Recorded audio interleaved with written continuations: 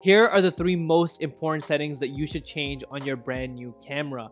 First up, you want to change your picture format from JPEG to RAW. This will ensure that you retain the maximum amount of information on each of your images. Next up, you want to change your shooting mode to high speed continuous to make sure that you never miss a moment. And finally, you want to change your white balance from automatic to custom and trust me on that one, you'll thank me for it later.